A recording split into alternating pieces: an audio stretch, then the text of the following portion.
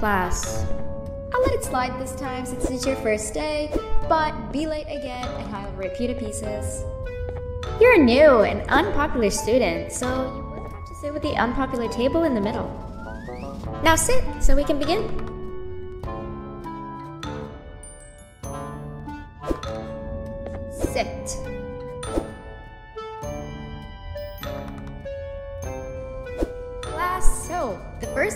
The day is math. Over the course of the semester, you will learn how to annihilate others, how to safely extract the human brain for eating, and. Oh, wait, I made a mistake. I think that's lesson four of the day. for math. Over the course of the semester, you will learn to add, subtract, divide, multiply, and so much more. I am so excited! Before we start, let's revise some of the basics. What is 6874123612 plus 9819399912? And remember, wrong answers will be very harshly punished. 785606354. Correct! You kids are really paying attention today. Next question, and one that I wrote myself. What is 2 plus 2? Correct! Wow, I thought everyone would get it wrong. Alright, last question before your lunch break. What is misery plus disappointment? My life. Correct! Unfortunately, that's all the time we have for math for the day. Go to your lunch break, and then we'll start the next lesson when you come back.